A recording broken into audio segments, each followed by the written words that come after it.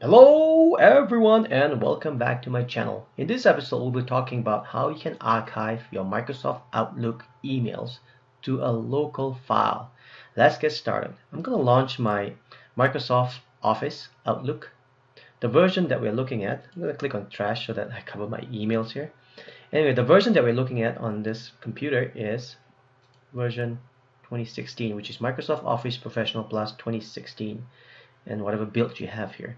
So I have a bunch of emails here and I don't have any more folders here on the side. I'll show you what I mean by that. But take note, I've got only uh, an email here, right? So um, one email account.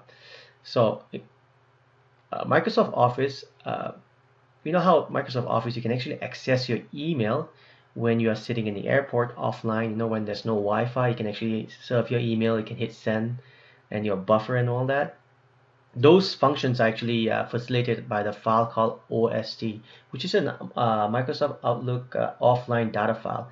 That file is actually stored here. Let me show you where it is. Click on File, go click on Account Settings, Account Settings, and then click on Data Files here. So this is where the files is stored. Depending on how many folders and email you have in your archive, uh, it, this can go really big. So for this email here, if I click on Open File Location, I'll open Windows Explorer here. You can see I've got 3.3 gigabyte worth of email here uh, just because I've been using these emails for about well over 15 years or maybe more. Not too sure. But anyway, that doesn't matter. So depending on how many emails you have and how many you're putting in different folders, this file size varies. And moving these files on a 3 gig can be challenging sometimes, right? So what you do is that you divvy up into different folders uh, that allows us to introduce a new file called PST file. PST file is actually your personal storage file that you can actually create. Let me show you what I mean by PST file. If you click on this add here, take a note here, there's nothing here. Click on add here, then give it a name, call something else. Right? And click OK.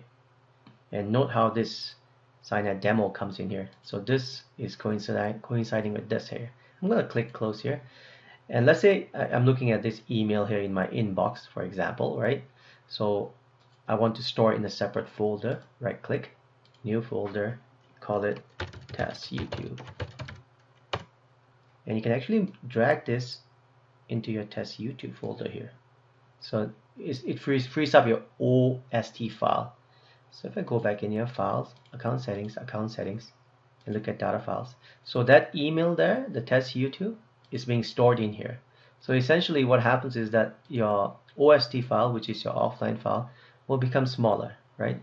I can actually go ahead and uh, email all the, sorry, move all this folder into a test uh, YouTube folder here on the Cyanide demo. So what I mean by that is I click, say, for example, um, I click all this uh, boxes and I, uh, sorry, emails, uh, and I start moving them one by one. Uh, your OST file will essentially become smaller that's what I mean. So here this will become smaller. Right now it's 3 gigabyte right? 3.3 gigabyte. It will become smaller and this file here if you click on open file location will naturally become bigger as you go along. So what it does is that divide and conquer you know you have two different files it's easy to move and easy to archive. That's one thing. So you can create multiple PST file but you only you can only have one OST file so you can click add and you can add. Note how this thing get added. Every time I add a new PST file. And likewise you can move you can organize in such a way that uh, you can create different folders right? You know it's up to you. And then move this each of these folders into different locations. So actually divvy up into different location. Because there are cases where your OST file gonna go back there again. There are cases I've seen where the client has a corrupted OST file, this file here, and essentially losing all your emails in your inbox, and that can be bad, right? So if you divvy up, at least if one of your PST file is corrupted, you are not losing any of your email there. So that's one thing. That's one advantage. So another thing you can do with a PST file is that you can make it a default, right?